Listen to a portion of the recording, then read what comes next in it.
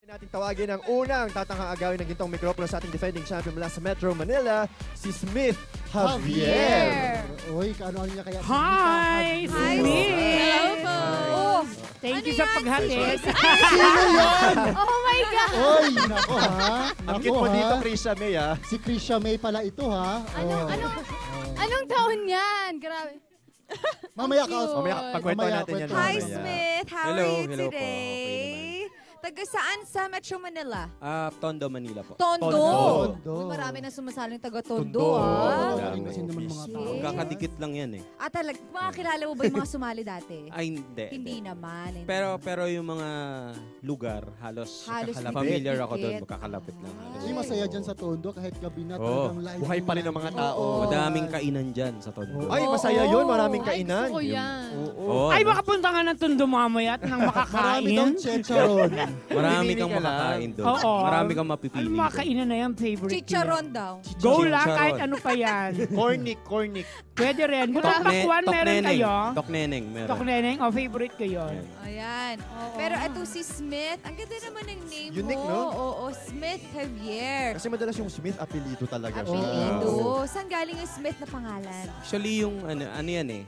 Yung Smith, ah, Charles Smith, Smith na lang. Ah, para- palayaw na. Ah, Pero palayaw. Charles Smith. Ah. Charles Smith. Ah, Char Char pala nung... Maganda pa rin. Maganda Oh, pa wala siya yung siya. LE. Ano bang Oo. pinagkakaabalahan ni Smith?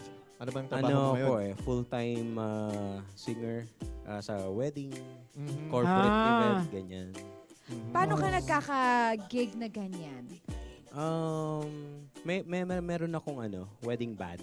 Ah, may wedding band. Tapos, Okay. Yun na. Binubuk kami. Binubok na kayo doon. Abang-abang lang kami, ganun. Oo. Kung makakwenta mo, ilan na ang mga weddings na nakantahan mo? Siguro mga more or less 400. Uy, For, uy. yung mga, ano, yun. kilalang tao ka na bang nakantahan? Oo, yung may- mga, Bongga. yung mga- Mer- meron. meron. Sino-sino? Ah, et- Oo, Pwede- lahat pwede na ba- yan. Oo, pero sige. actually, yung team na yun kasi, ah, minsan kasi, ah, pag sobrang, di ba, Berman, Oo. Oo. lalo na December. Yes. Dalawang, minsan, iba-ibang team kami para Oo. in, di ba? Oh. May iba, iba, iba't ibang unit pala May, ito. May mga kanya-kanyang division pala ang dami Yan. nagpapakasal pala, no? Oo. Dami, sobra. Kanino Pero- kasal yung pinaka natatandaan mo? O yung, oo. Oo, pinaka-memorable. Memorable. Dami, hindi ko na na. Sobra eh, mga personalities eh, mga celebrities. Ganyan, Talaga. Pero more on ano yun eh, yung iba kasi more on corporate na. Corporate Corporate. talaga. Speaking of celebrities, kasi nabanggit na rin naman niya, sino mga celebrities yung nakantahan mo ng weddings?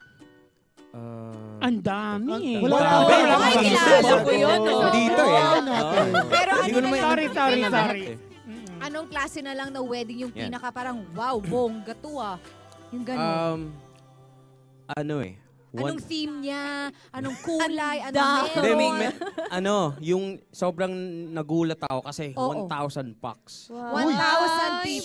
Sobra. Parang dami kumakanta ako, ito yung stage, tapos di ko na matanaw yung sa, sa left ko, sa right. Parang Sobrang concert. dami, parang concert. Talaga. Parang Ang ganun. tara. At least, may Kuya racket na, may concert May pa. ganyan. Nangyari na ba na may wedding kang pinuntahan na walang sumipot na isa sa ano, it's either the bride or Oh the my bride. God. Yung tipong handang-handa ka Ay, oo kakanta. nga. Uy!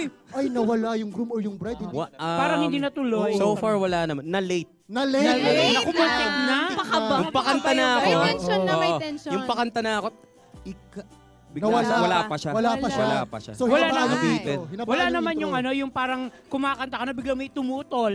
Ay, Ganon. Ay. Itigil Wala, ang kasal. wala. Ganon. Wala. Itigil ang kanta. Wala.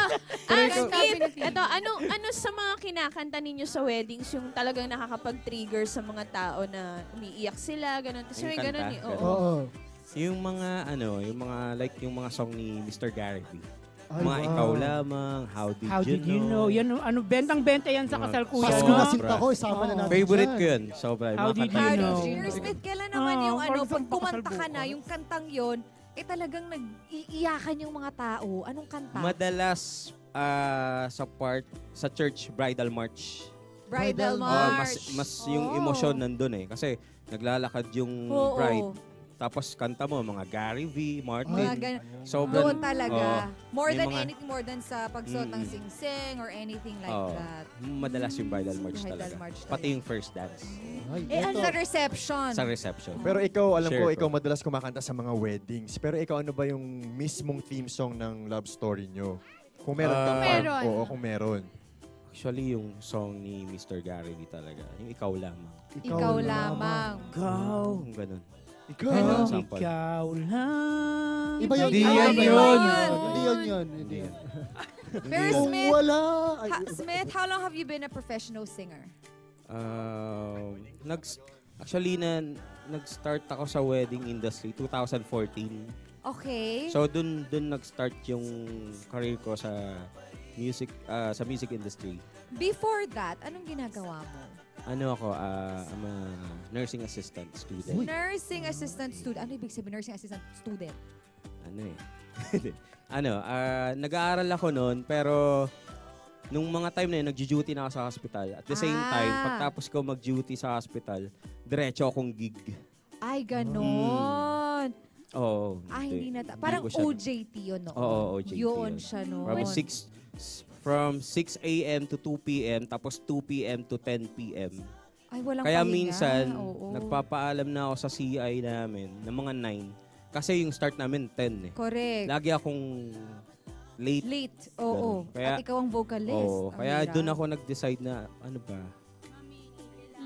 Oo, parang Oo. love ko kasi talagang kumanta eh. So, wala akong choice. So, Totoo. nag-full time na lang Kaya, ako. oo, kaya nabanggit mo nga kanina full-time ka. Ikaw ba, na, napagplanuhan mo na ba yung wedding mo? Or Oo. meron ba nagpapatibok sa puso mo? Or Actually, ka na? ano, may mga, oo, meron na. Ano, Nagpaplano. ano po? Sana, ano ba? Sabi Girlfriend, asawa na. Girlfriend. Ah, girlfriend. Girlfriend. Ilang taon na po? Magpapakasal pa. Ano na, two years na kami. Actually, magkaka-baby na ako. Wow! Wow, Ilang months congratulations! na? Ilang months na? Five, five months. Five. Five months na si Five baby. months. Four months na lang, tama? Oo. Nine months, di ba? Four, Oo. oh, tama. Pero may Four. question ako sa iyo, Kuya Ano yun, Smith. Bakit ngayon ka lang sumali sa Tawag ng Tanghalan? Since patatlong season na ito ng Tawag ng Tanghalan. Um, siguro dahil ano ba? Sa kasi sa wedding industry, yung schedule. So, halimbawa, sa isang buwan na to, so lahat ng weekends meron. Madalas So, kasi nag- weekends ang Nag-alala ako, baka mamaya tamaan. Tapos Oo. sabi ko, paano kaya ako makakapagpaalam? Sabi ko, paano ko kaya, paano ko, paano ako sasali? Oo. So ngayon, parang nagpaalam ako sa, para at least na-anticipate na nila yun na bigyan na gano'n. Yes. True. It's good. Pero ito, ano ba ang ah, talagang ah, pinaglalaban mo? Bakit ka sumali sa tawag ng tanghalan? Nandito ka ngayon. Um, um, pinaglalaban ko na ngayon, dahil nandito na ako, gusto kong ano, gusto kong i-share, gusto kong ah, makita ng buong mundo kung ano yung laman ng puso ko sa pagkanta. Yes. Hindi lang dahil sa wedding, sa corporate event, napapanood ako. Parang gusto ko naman mapanood naman ako sa buong Pilipinas. Yes. Sa buong Mundo. Pilipinas. Sa buong Buong mundo. mundo.